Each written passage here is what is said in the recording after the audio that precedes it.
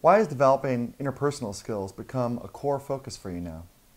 I have developed a level of um, proficiency in what I do and a confidence in it um, that, you know, has been unprecedented for me prior to completing this last film.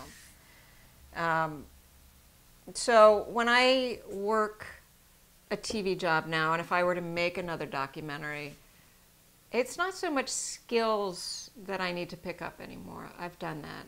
But when I look at what the real problems were in making my last film, you know, it wasn't trusting my vision. I did. Um, it was interfacing with those around me who were challenging my vision. That was where the friction came from.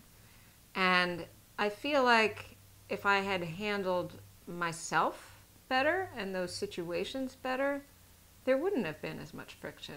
And it could have been a much better experience for everybody. I mean, people around me behaved how they did, but I have to take responsibility for what I created. Mm-hmm. Um, I don't like being told what to do. I'm impatient. Once I have a vision, I just want to walk that straight line from point A to point B and anybody who's letting their ego get in the way, I'm no patience, angry, get out of my way. And it's not effective and it's not really fair. You know, everybody comes to the table with issues, and a little bit of compassion and patience goes a long way. Um, but I think I was so insecure too that I was less patient and less compassionate. You know, it's a cycle. So there's my, you know, my natural inclination is to be very effective and not let my ego get in the way, and it's all about doing the best work. And anybody who's not like that, you know, all this negative energy goes out toward them. Um, which, you know, you could say, well, it should. You know, they're not behaving right. But we don't all always behave right. And if I'm the leader of the ship, it is my job to always behave right. If I want that ship to keep moving, I have to be more compassionate, more patient than anybody else.